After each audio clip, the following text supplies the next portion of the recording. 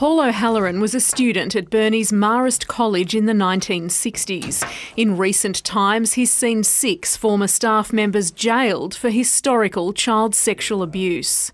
It's unimaginable, I think, the damage that has been done to this community through the abuse on the scale that it was. Mr O'Halloran has supported former students seeking justice in the civil courts for the abuse they suffered as children.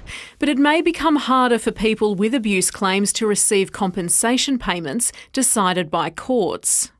Victim survivors are unable to directly sue the Catholic Church, but they can sue the subordinate entities responsible for the abuse. Those entities usually have their liabilities covered by insurance, but Catholic Church Insurance, which is owned by the Church, is winding down its operations.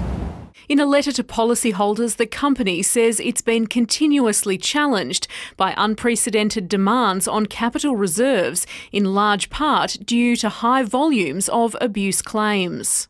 And if there's no insurance to indemnify, particularly some of the smaller orders or dioceses, I think we'll very quickly see that various sections of the Catholic Church are crying poor and that there won't be enough money to appropriately compensate victims. There are concerns it won't be easy for Catholic organisations to find new insurance that covers abuse claims. So, for the Catholic Church to say that they can't meet their liabilities through the Catholic Church insurance, in my view, is immoral.